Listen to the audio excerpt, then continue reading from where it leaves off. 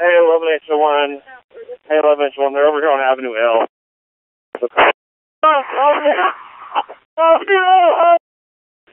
Eleven eight one. Is everything under control up there?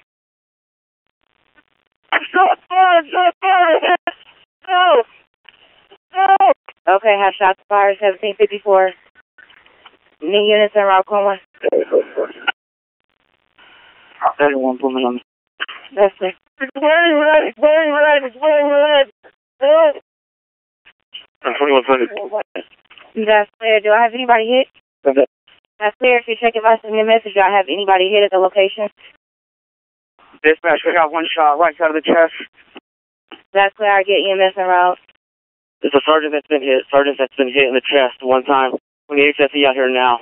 When I walked into the hospital and saw, you know, just seeing him, uh, Matt Slinkard sent me a picture already of the day that we promoted him, and uh, I remember the joy, the conversations we have with them on the stage, uh, and you know, and now here, um, a year later, now he's he's gone because of a coward, and I'm.